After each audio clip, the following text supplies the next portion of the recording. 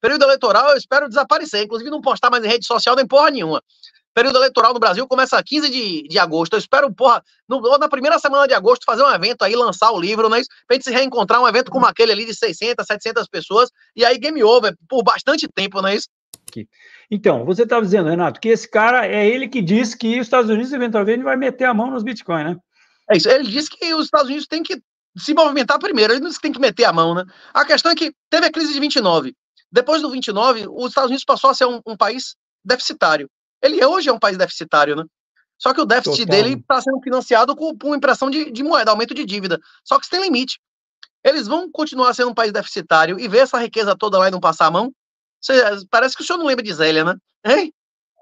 O que eles puderem fazer, legal e ilegalmente, eles vão fazer. E desapropriação Mas olha é legal. aqui, olha aqui, moçada. O Renato é suspeito, entendeu?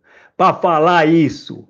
Porque ele é o cara que te ensina a. Vai que isso acontece, os seus estão guardados, não é verdade? Hein, Renatão? É. Conta aí, Renato, conta aí sobre o, o livro, seu curso de, de, de, como preservar os bitcoins e tudo mais. Fala um pouquinho da gente, dá uma canja aí para a turma que está é, assistindo. Se, se você não vai vender o livro, né? Você vai dar o livro inteiro, mas dá só uma canja do que você fala lá tal. É, se, se o senhor permitir o jabá, eu vou fazer jabá. Todos os produtos que eu, que eu posso lhe oferecer estão no site minhahonra.net. Minhahonra.net. O livro tem de graça, tem de graça ditado no, no, no, no, YouTube e tem de graça em PDF. Você clica lá e baixa o livro. O que nós cobramos não é por informação, porque tem tutorial, inclusive melhor do que o meu, de graça na internet, como no Bitcoinheiros que eu mencionei. A questão é que o que a gente vende não é informação. O que a gente vende, além da seleção do material, né, da, do, do, do, do, do acervo, é network e suporte. É ter alguém que vai lhe escrever, que você vai marcar um horário. Alan, os caras da equipe vão lhe explicar como é que faz. O que é que vende no curso? Ensina você a comprar Bitcoin e você fazer sua autocustódia de maneira que nenhum policial, nenhum juiz, ninguém no mundo vai brocar a sua casa e lhe roubar um real. É isso que a gente vende. E outros cursos vão começar a ser vendidos lá a partir da semana que vem. Segunda-feira já vai ter um, um, um, um, treinamento renda turbinada, que é para o cara aprender a fazer renda em dólar. Mas não é essa renda detena de 30% ao ano, é a renda real. É alugar o, o token lá na Bitfinex, é fazer o cash and carry na, na, na Deribit lá, é, é, fazer ah, coisas que existem mesmo e que funcionam há décadas e é, tipo, tem retornos que são sustentáveis, né? Isso não é como é Terra Luna nem, nem Etena, né? A gente vai. É, inclusive, os próximos treinamentos que estão sendo oferecidos eu gravo com o Alan duas, três aulas dando minha opinião e tal, fazendo introdução, mas eles são oferecidos, inclusive, com profissionais de mercado e tal, que tem muito mais anos de experiência do que eu e tudo isso. Inclusive, a terceira edição do livro, Bitcoin Red Pill. Quem quiser ganhar um milhão de satoshis, estamos fazendo competição de capas. Você pode ter 12 anos, meu irmão. Se você desenhar a capa que for mais votada, você vai ganhar 4 mil reais de Bitcoin. Pode procurar Alan. Tem duas capas, o Bitcoin Black Pill e o Bitcoin Red Pill. Se você tiver 12 anos e souber desenhar, você tem chance de ganhar 4 mil reais. Procure ele para saber. Procure o site de Alan Schran aí no, na rede social, vai Alan ter lá Schran. as certificações. Nosso amigo ele, Alan Schran. É isso, ele é formado em design, ele vai explicar, olha, a capa tem uma lombada, porque tem que, inclusive, o cara mandar o desenho da capa correta, não é isso? Da capa, da digital. Pode, inclusive, se você quiser comprar o livro antes dele existir, está em pré-venda. Está em pré-venda, inclusive, ah, eu quero um livro reconhe como é, com dedicatória. Pronto, você vai ter 10 livros com dedicatória. Pode ir lá no minhahonra.net que está vendendo. Meu jabá que eu tinha que dar era esse, professor. Muito obrigado pela oportunidade. Não esquece do meu, hein? Bom é contra aquele chopp que eu vou pagar. Eu tenho que você. levar, eu tenho que levar 10 para o senhor. Ah, o senhor não acredita que no, no evento que eu fui, os caras me levaram para almoçar. Os caras me levaram para almoçar com, como é o nome do cara? Pablo Spaia e Samidana. No dia que eu, que eu fui lá naquele naquele evento, o próximo tem que ser para zerar, né? Isso, para purificar o negócio, tem que marcar com o senhor e os caras do Bitcoin, assim, uns três almoços na sequência, né? Isso não quer... oh, pessoas aí muito importantes do mercado financeiro. Não, é porque o, o, o, filho lá do, do dono da Jovem Pan, o Tutinho, tinha. A gente estava conversando sobre o negócio de inteligência artificial e tal, eu querendo que ele, que ele, como é que chama, conhecesse o professor Marco e tal. Ele dizia que botava curso na internet, não sei o quê. Eu disse, não, rapaz, mas meu curso não escala, porque eu tenho que fazer, como é que chama, suporte e tal. Aí o cara, não, vamos ali almoçar. Na hora que ele me levou pra almoçar na casa do pai dele, tinha essa galera toda da Jovem Pan, né? Sei, sei, legal. E o evento Bitcoin ou nada vai ter mais novamente? É, eu, eu, espero, eu, espero, eu, eu espero lançar a terceira edição do, do Bitcoin Red Pill aí, mas antes do período eleitoral. Período eleitoral eu espero desaparecer, inclusive não postar mais em rede social nem porra nenhuma. Período eleitoral no Brasil começa 15 de, de agosto. Eu espero, porra, no, na primeira semana de agosto, fazer um evento aí, lançar o livro, né? Pra gente se reencontrar, um evento como aquele ali de 600, 700 pessoas, e aí game over por bastante tempo, não é isso? É, É, fiquei sabendo que você comentou algumas vezes que está querendo parar de participar de podcast, sumir um pouco das mídias, é isso mesmo? Mas é a mesma coisa, eu não chego aqui para dizer a mesma coisa de sempre. Já está tudo dito aí, não é isso? O período eleitoral, a militância judicial vai aumentar ou diminuir nesse país? Hum. A gente está na fase dos expurgos, não é isso? Hein? É, com certeza, é. meu. E, e, e eu, eu, avisava, inclusive minha propaganda, quando a gente lançou o curso, quando lançou o treinamento um ano atrás, era compre antes da BlackRock, não é isso? Agora eu vou dizer que compre antes da BlackRock, os caras comprando milhares de Bitcoin por dia, né? Hein? É, é, é, é, é isso aí. Agora, para mim, professor, eu tô mais, eu tô mais ansioso, eu tô mais, mais, mais esperançoso de ver Bitcoin a um milhão de reais do que a 200 mil dólares. Hein? Esse milhão de reais é capaz do Bitcoin caindo em dólar. Ele nunca mais perder, hein? É, um milhão de reais. Quer ver aqui, ó? Eu tô aqui com o Bitcoin BRL. E esse, esse aqui, dado do senhor é, do, é, da Binance? Esse dado é da Binance, sim. É, é, é o que, eu fico liquidez, né? Eu não consigo mais, eu não, eu não consigo acessar um gráfico que preste de Bitcoin real, porque o do View de todos usa a, a Binance e a Bybit, não sei o que lá, que só tem book de três anos para cá. Todas deixaram de usar mercado Bitcoin, as antigas do Brasil, né? É, mas é, você sabe por quê, né? É, porque não. se você for para o mercado Bitcoin, ah, eu vou te mostrar aqui. Ah, o volume hoje em dia é irrelevante, mas o passado era relevante, né? Pois é. é. Então, pronto, olha aí, ó. Vou prometer uma coisa para você. Nós vamos pegar os dados, nós vamos fazer o, o, Bitcoin em real, porque o Renatão pediu, e o Renatão manda aqui, vocês sabem. Nós vamos na Enfoque pegar os dados do Bitcoin, do mercado Bitcoin, e à medida que a Binance tenha. É, passe a ter mais liquidez do que o mercado Bitcoin, a gente vai juntar esse gráfico a gente vai, vai juntar, vai juntar esses dois gráficos, tá? Mas Perfeito. só vendo esses dois aqui, só, é, deixa eu tirar um negócio aqui que não mostra nada aqui, pronto. É, é, vocês estão vendo aqui, né?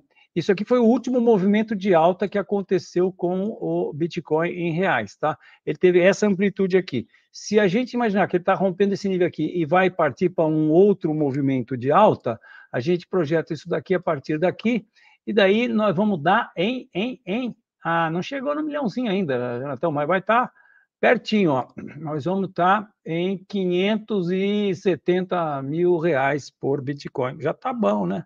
Já tá o, bonito. o senhor acha que essa, esse 5,30 é a resistência real, né? Entre dólar, o dólar real, é, o SDBRL, esse 5,30 é a resistência que se romper vai embora, não é isso?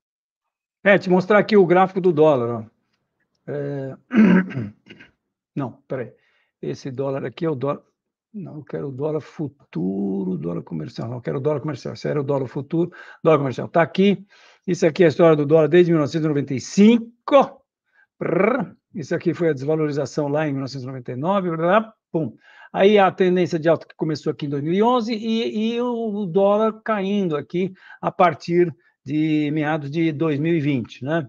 E veja só essa reta de tendência aqui bonita, né? Ela tem já é, um, dois, três, quatro, cinco pontos. E aí, o que, que aconteceu?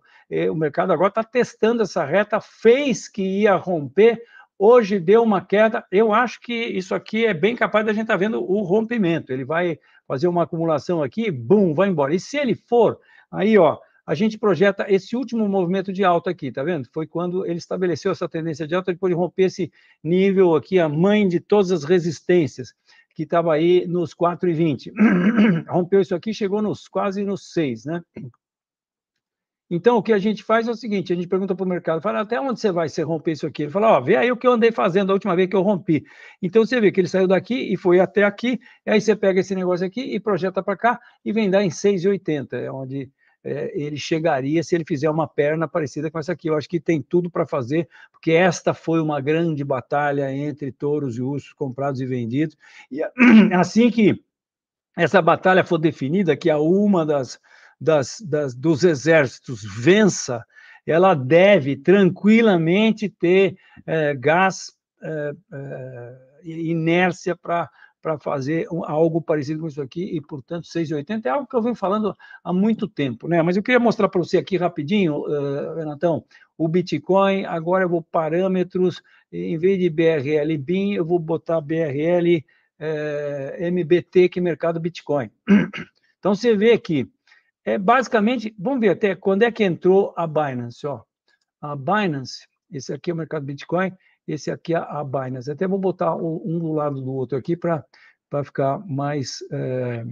Vá para aqui, para aqui, pá, pum, e esse outro vem para cá. E olhem só, eu não posso destruir meu desktop aqui.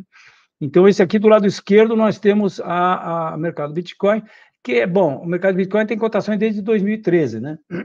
Mas o que acontece é que a partir de a partir de outubro de 2023, ele perde muito a liquidez, né? infelizmente, né? que é o que a gente vê aqui. E você vê com esses, esses candles aqui sendo tendo gaps e essas coisas, não tem essa liquidez de outubro para cá, né?